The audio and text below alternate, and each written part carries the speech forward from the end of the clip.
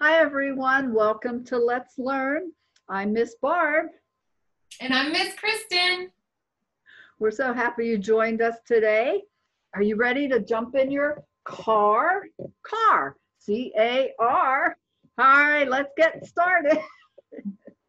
I'm going to drive my car. I'm going to drive my car and the wheels turn fast.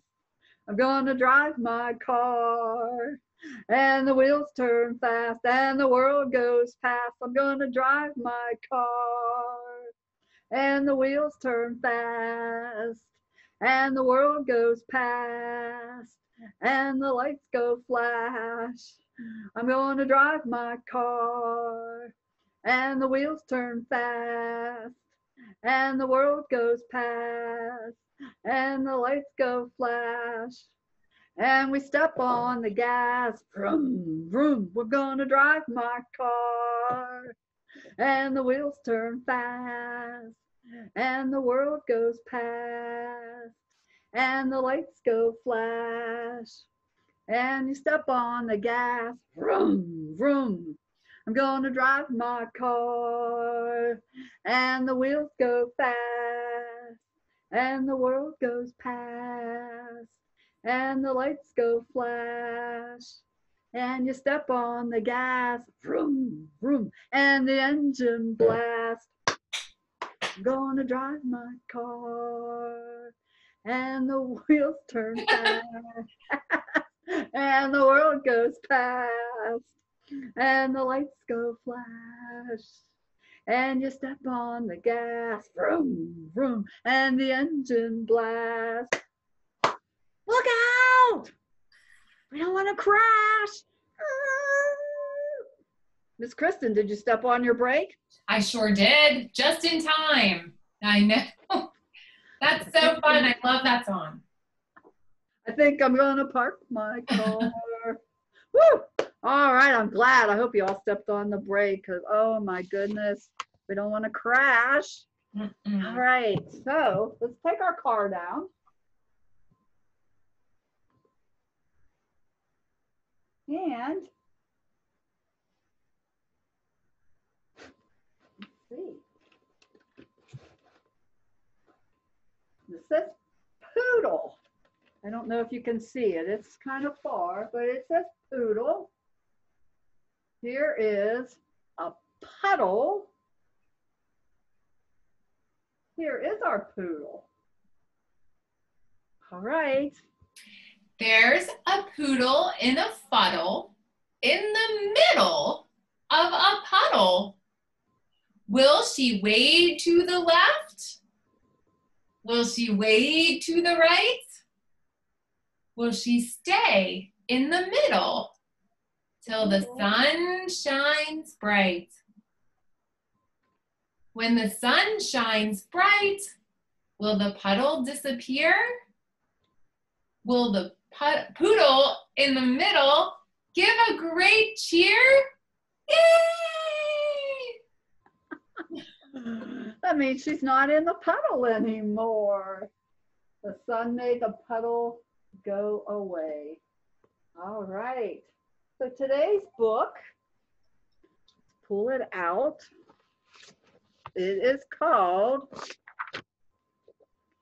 Harry and the Dirty Dog. And it's written by Gene Zion, pictures by Margaret Bloy Graham. Let's find out about Harry the Dirty Dog. There's Harry. You see Harry? He's got a sponge and he's in the bathtub. Hmm. There he is. He's running away. He doesn't want to be in the bathtub, so he's on his way. Why does he get dirty? Says, Harry was a white dog with black spots who liked everything except, guess what? Right, getting a bath. So one day when he heard the water running in the tub, he took the scrubbing brush and he buried it in the backyard. There he is. He's digging a hole. He's not going to let them find that brush. And then he ran away. He said they're not going to find him or that brush. He played where they were fixing the street and got very dirty. Here he is, he's playing in the dirt. Oh, that Harry. He played at the rail yard and got even dirtier. Let's see. I knew where Harry was. I lost Harry now. Oh, here he is. There's Harry up there in the black clouds. I found him. He played tag with other dogs and became dirtier still. That's why we can't recognize him. Look, is he white with black spots anymore? I don't think so.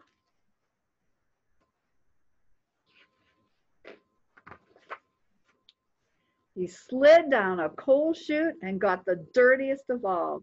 In fact, he changed from a white dog with black spots to a black dog with white spots. There's Harry. See how he's changed?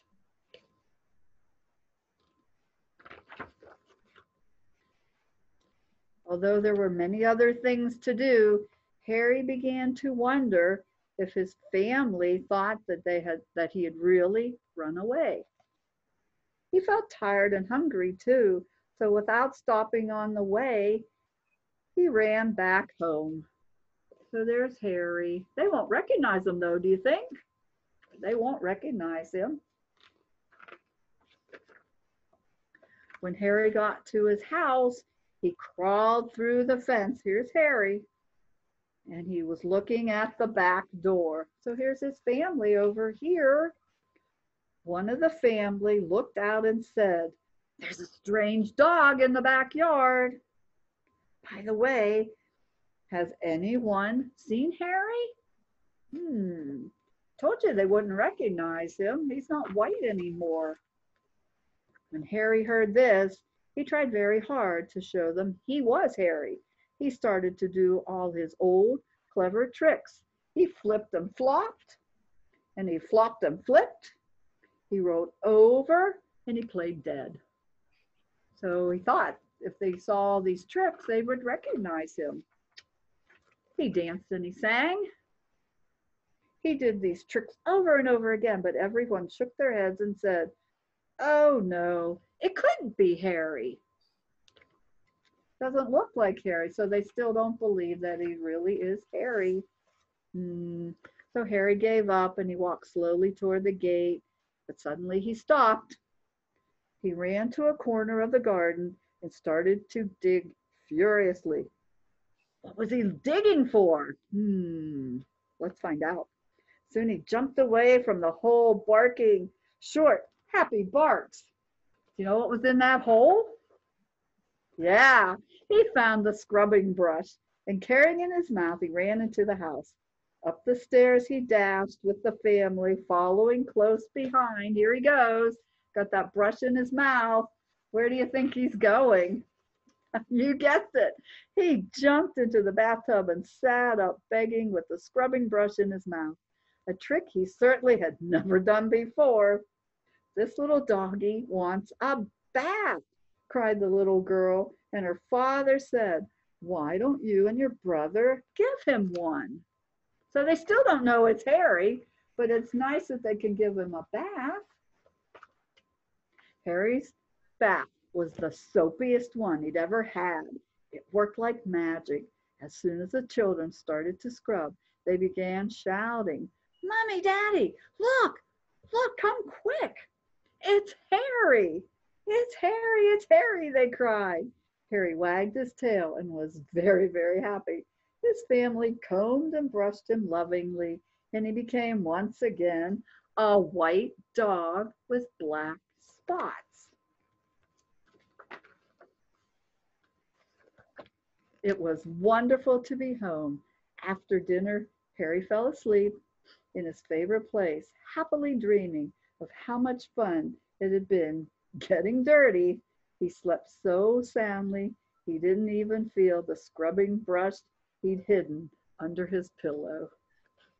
And that's the end So there, on the front, Harry before, Harry after, and then Harry again. So he went from white to black to white. So that was That's it. a classic, Miss Barb. I love that Yes. story. It certainly is. All right, so we have one last rhyme, one last finger play. We're gonna put these pictures of our, we have five little kittens. Here's our word for kittens. I'll hold it up for a second. So we have one, two, three, four, five kittens. Five little kittens standing in a row. They nod their heads to the children so. They run to the left. They run to the right. They stand up and stretch in the bright sunlight. Along comes a dog who's in for some fun. Meow! See those little kittens run. That's cute. Should we do it one more time? Let's do it one more time. So hold up your hand, all five fingers. So five little kittens standing in a row. They nod their heads to the children so. They run to the left, they run to the right. Then they stand up and stretch in the bright sunlight. Along comes a dog who's in for some fun. Meow! See those little kittens run. Very cute. Oh, how fun was that? All right, well, that's it for today's Let's Learn. Hope you enjoyed it. Hope to see you again next time. Bye-bye. Bye, everyone. Thanks for joining us.